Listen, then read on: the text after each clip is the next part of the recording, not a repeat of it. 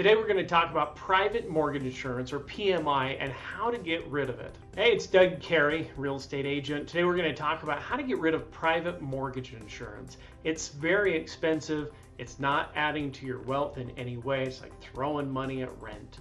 Today we're going to talk about the steps of getting rid of it today earlier than the mortgage company wants you to. Today, now more than ever, we can get rid of our mortgage insurance early because of the massive appreciation that we've seen on our homes. Some homes have gone up 30, 40, 50% in the last five years, but yet we're still paying for mortgage insurance. So here's a couple steps on how to get rid of that. First, call me and I'll give you an idea what your home is worth so we can look to see do you have 20, that 21% equity in your property or more to make sure this all is worth it for you contact your lender and they'll refer you to their private mortgage insurance department. That department will talk to you about the ways to be able to reduce or drop that private mortgage insurance.